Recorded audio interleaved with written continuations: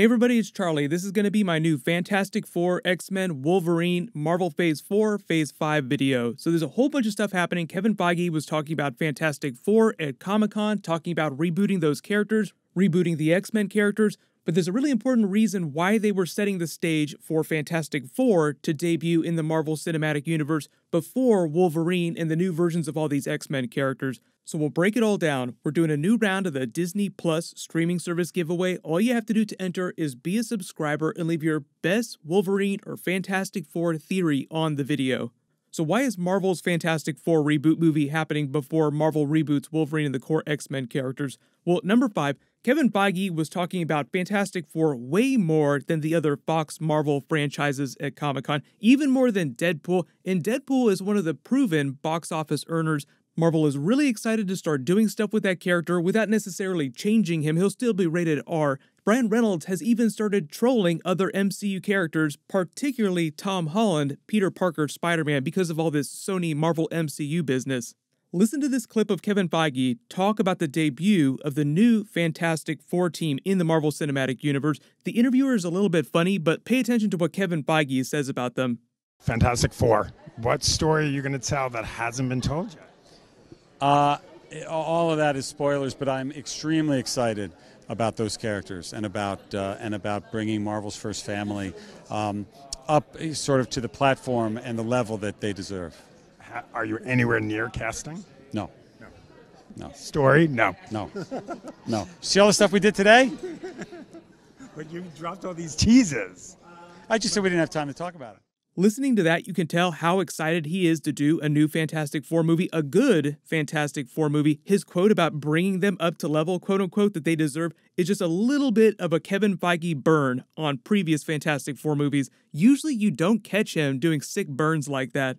He's not completely ignoring the X Men characters. He did mention mutants right after he said Fantastic Four during the Marvel Phase 4 Comic Con panel, but they've been doing a lot of work before this to try and set up the debut of the Fantastic Four. They even have that post credit scene moment during Spider Man Far From Home. So careful for spoilers for the ending of Spider Man Far From Home if you haven't seen that movie yet. Right at the end of that movie, there's a very notable billboard Easter egg construction sign, which is a bit of a meta Easter egg, implying that Marvel is constructing a new version of Fantastic Four within the Marvel Cinematic Universe. Like, you won't believe what we're working on next. Then you have the one, two, three, four.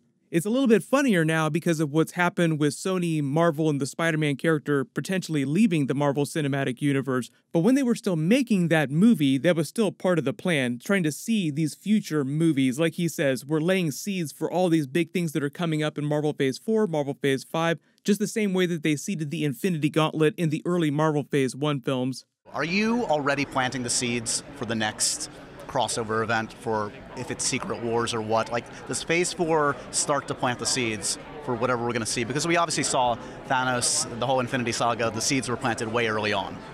Uh, yes. We debated what we should announce today. Should we announce four and five? We've planned them out. We've got five years down the road. And I was like, I think you, yeah, 11 projects in two years is plenty.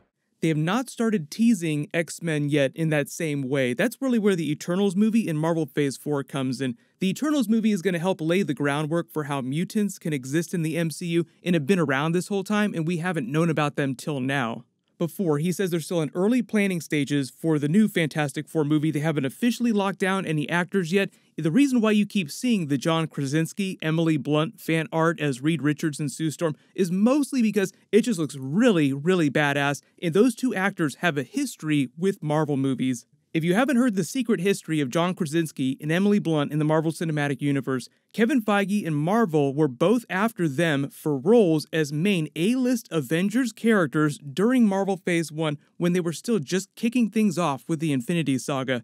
They go way, way back. If you can believe it, John Krasinski was originally one of Marvel's first picks as Captain America over Chris Evans for a little while now, watching all those movies, now you can't imagine anyone else besides Chris Evans playing that character. He is Captain America, Steve Rogers. Avengers!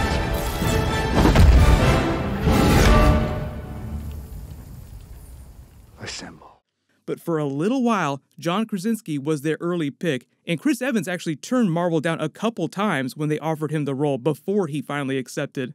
This is the hilarious story that John Krasinski tells about why he didn't become Captain America. I heard that you screen tested for Captain America. That's that right. role. In my head, I got the part. Yeah.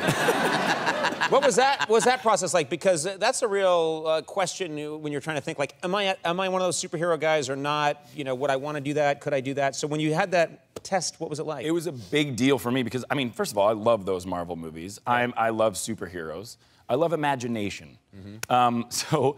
Uh, when they asked me to test, they actually allowed me to put on the suit. I was on a set. It was all very interesting. I feel like as I'm talking about this, someone from Marvel is gonna be like, and just like, I'm not, I'm not allowed to talk about it at all. Yeah. Um, but I remember the the only bummer of it was I was putting on the suit, just watching it. I was like, this is so amazing. And I got about right to my waist. I was still shirtless, feeling pretty good about myself. It wasn't 13 hours yet, but Right. I felt pretty good. And all of a sudden, Chris Hemsworth walked by his Thor, and he's like, "Hey, mate," and I went, "I'm good. This is stupid." I should.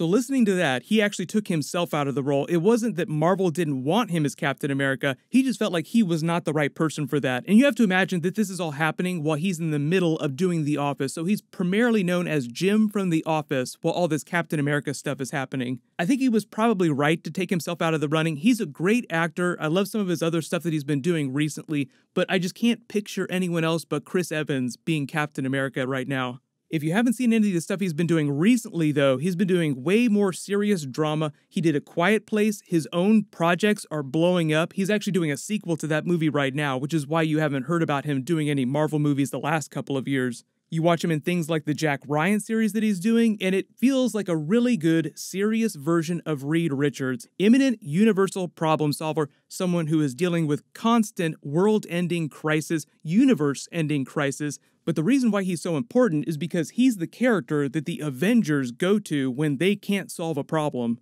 Three, Emily Blunt's history with Marvel is actually a little more well documented by the fandom. You probably heard some of these stories.